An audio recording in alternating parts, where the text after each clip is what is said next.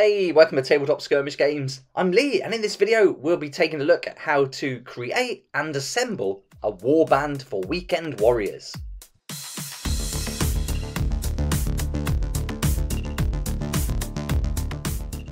Choosing your band of warriors is a big part of the game, and this is where your imagination can be let loose as you create your warband and equip them with the gear and skills they need to succeed in their battles. In Weekend Warriors, a warband will consist of between 1 and 10 warriors. I recommend using 4 warriors per player per skirmish, and especially when you're starting out. You can use more or less if you choose, but make sure that each player has the same number of warriors for each skirmish unless the skirmish rules say otherwise. There are four steps that you need to follow when creating and assembling your warband. Step 1 Give your warband a name, and this is where you can set the tone of your warband with a fun or sinister name. Step 2 is where you choose your warriors, and here you decide how many warriors you'll be taking into battle, and then you select some miniatures that you want to use to represent them.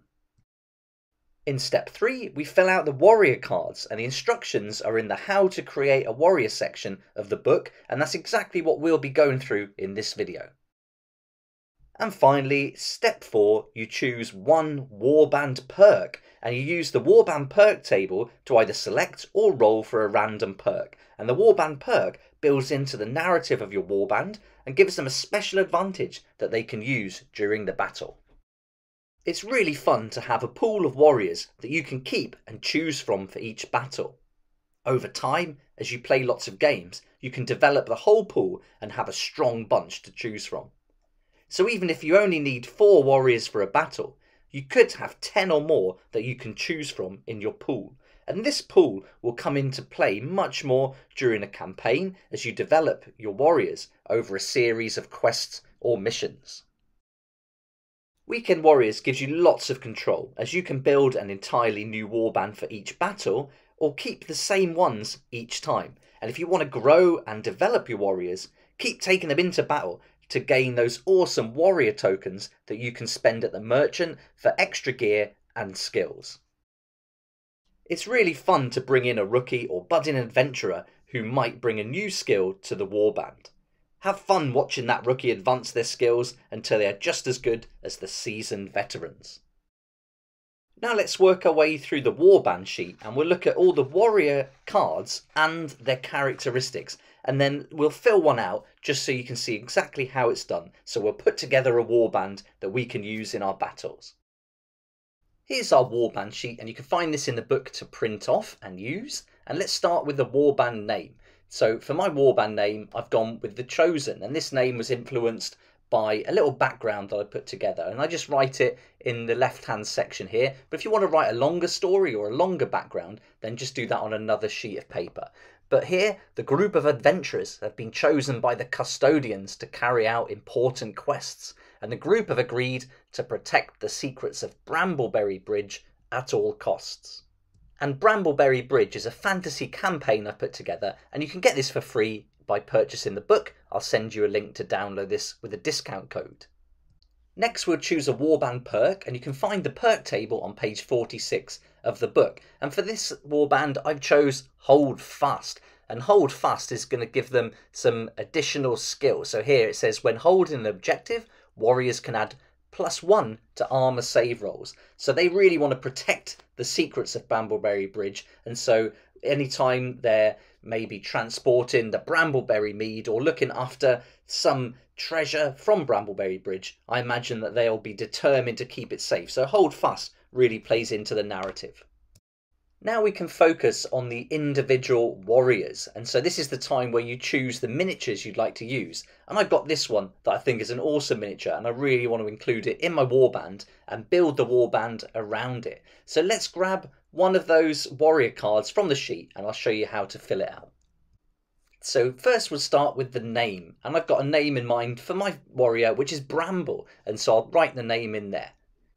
Then we want to give our warrior a role, and on the role table, you can choose from eight different roles. And I've gone with the fantasy role table here, and I'm going to choose Bramble to be a bard. He's got that violin, so I imagine it is like some kind of magical instrument, and so bard fits him perfectly. So I'll write in bard next to the role, and then we want to look at the abilities that come with that role. And you have to choose the ability number one first and work your way through one, two, three, four in a chain. So you can't have four straight away. You have to start at one and work your way along, buying those abilities in order. So, first of all, as a bard, he's a kind of healer. So he's going to get unlimited medipacks or healing potions to take into battle. So we write that down under the abilities and I'll just put it in number one. Then we want to look for a skill. And so we want to combine that bard role with a skill. And here we've got another table with eight different skills. So looking at these, I want Bramble to be my leader. So that's a really easy decision for me, but you could choose any from the table. So I'm going to choose leader and then I'm going to write leader next to the skill field on the warrior card. And just like our role, he can choose the first ability in the chain. So ability number one, then I'll write that down again in the bottom under abilities, and it says we can re-roll any one dice per round. And as a leader, he can let any of the warriors who are friendly warriors use that re-roll. So that's a really good ability for a leader to have as he kind of inspires his other warriors in the warband. You can also add a little picture if you like, you can draw it, and I'm just going to use my crow logo from Tabletop Skirmish Games because that's perfect for this. Now we want to look at the different actions and all the different characteristics. And the first one is movement. Now, most warriors are going to have a movement of two inches unless otherwise stated, so we just add that in there.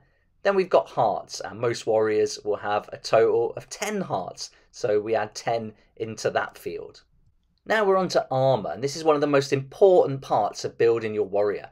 And here you can see a little table. So first of all, on the left-hand side, we've got armour, and then we've got light, medium, and heavy armour. And whichever one you choose will influence your actions, your reaction, and your armour save. So this is a really big decision, and it really influences how your warrior will perform on the battlefield.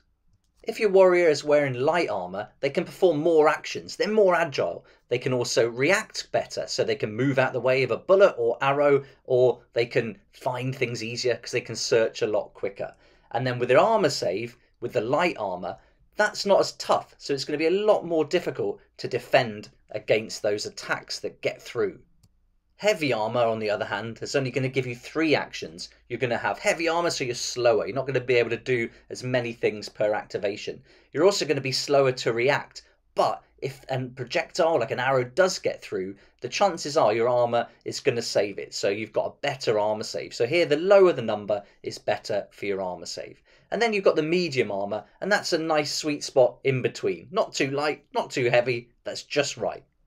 So I want Bramble to have light armor because I want him to be a lot agile, more agile. I want him to be able to have more actions, and I think it fits the look of the model that I'm representing the warrior with as well. So first of all, I'll put the armor save in. So this is going to be an armor save of five plus, and so I write that in the armor section there on the card. Then we'll look at reaction, and reaction's five plus as well. So that goes in there. Then the next thing is to see how many actions we can make and that's 5. So it's nice and easy. We write 5 in our actions. So you'll note that whichever armor you choose, the number is going to be the same for all of these characteristics. And this makes it really easy to remember when you're playing. Now it's time to choose your weapons, and typically most warriors will have a ranged weapon and a close combat weapon. So let's start with the ranged weapon. And here you can see the weapons table is all designed for a fantasy quest and this has got lots of different weapons that all have different actions, light, medium, or heavy, and they're also going to have different characteristics that go with them. I'm going to choose the instrument for Bramble. He is a bard after all, and I'm going to call that instrument a violin. Then I'm going to look at how many actions it costs to use that, and that is two actions, so I write two in that field. Then we've got the range, and the range of the instrument is 0 to 6, so that goes in the range section. Next, we've got the number of attacks we can make. And in this case, it's going to be three. So we can roll three dice, and I write three in the attack section. Then with power, this would normally be a modifier, plus or minus followed by a number, but there isn't a modifier here, so we just put a little dash there. Then finally, we've got the damage. And now the damage is different for an instrument. This is minus one. Normally, if the damage is one, two, or three, that would be how many hearts your enemy would lose. But in this case, you'll be using the instrument to heal your friendly warriors. So it's a minus one. So they don't take any damage. You heal them instead and they get their hearts back. And that's explained in this section called roles and conditions. So to use an instrument, you must be a healer or a bard and the damage heals hearts instead of causing damage. So there we go. So that's the first weapon we'll choose for Bramble, and that's the range weapon. Now let's pick something so he can get stuck in up close. And for this, the model's got a short sword, so I'm going to choose short sword. It fits with the narrative and it fits with the model. And so I write sword in the weapon section. Then we can fill out the rest of the characteristics for that weapon, just like we did for the violin. And there we go, we've got our first warrior for our warband complete. Bramble the Bard is our leader, and we filled out his card on the warband sheet. Now in this section, which is gear cards, tokens and notes, we can add any gear we buy for him. And I'm just going to use the descending rope as an example. And with this, he takes no falling damage. So we can write the item and the conditions or abilities it gives your warrior in that section. Then we repeat the process until we've got all our warriors complete. So if you want to have a warband with four warriors in, you just do this process four times and then your warband is ready for battle. Now we've gone through all of the four steps you need to build your warband. We've given them a name, chosen the warriors, filled out the warrior cards, and we've chosen our warband perk. This is the first step we'll need to complete in the game of Weekend Warriors, so now you know how to build a warband, come and join me for the next videos in the series where we'll look at how to create a skirmish, write a story, go through all the rules you need to play the game, and much more. Thanks so much for watching. I really hope this video was helpful. And if you're interested in picking up a copy of Weekend Warriors yourself, then I'll put links in the description below. And if you purchase it from Wargame Vault as a softback cover, you'll also get the PDF for free, or you can buy the PDF separately. And if that's not available in a country that you live in, then you can also order the print book from Amazon. And if you order it from Amazon, just drop me an email with proof of purchase and I'll send you a link with a discount so you can also get the PDF for free. As a bonus to say thank you, I'll also send you a link to download for free a sci-fi mission pack, which will give you five missions, and a fantasy quest pack, which will give you five quests. And don't forget there's more videos on the channel with lots more content coming so you can have an overview of the game, look at the book in detail before you buy, and also go through all the rules and everything you need to know to play the game. Thanks again for watching. Please like if you like it, subscribe for more videos like this, and don't forget to hit the notification bell to join me next time on Tabletop Skirmish Games. If you like this kind of content and would like to support the channel, then please check out my Patreon page. And thanks to everyone who's joined so far. It's really awesome. We hang out on Discord, talk about the hobby, share ideas, and help each other out. And you'll get some perks there that you're not going to find anywhere else. So I'll put a link in the description, and it'd be great to see you there.